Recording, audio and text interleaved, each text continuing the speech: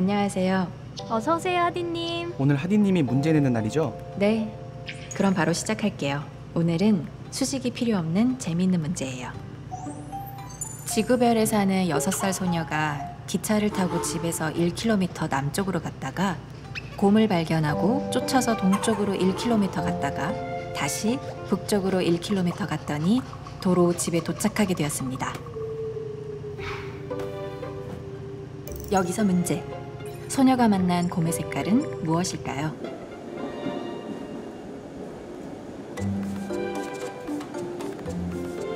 곰 색깔?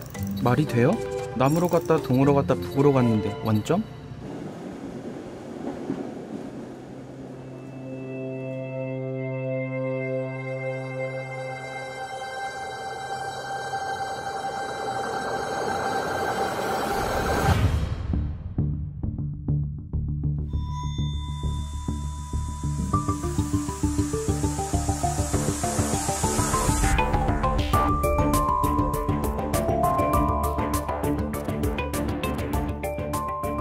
문제를 잘 보면 풀려요.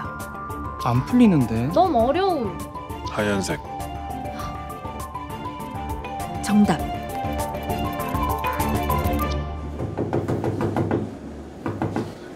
빨리 좀 나오세요. 정답 하얀색? 백곰? 왜 배꼽이에요? 정답 맞추신 쓰리컨님이 설명해 주시겠어요?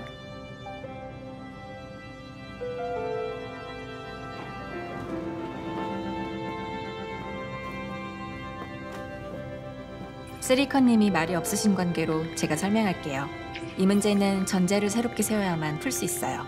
예컨대 평면이 아니라면 같은 발상을 해보는 거예요. 아, 그래서 지구별에 사는 소녀였군요. 맞아요. 이렇게 1킬로, 또 1킬로, 다시 1킬로. 북극이니까 하얀색 북극곰.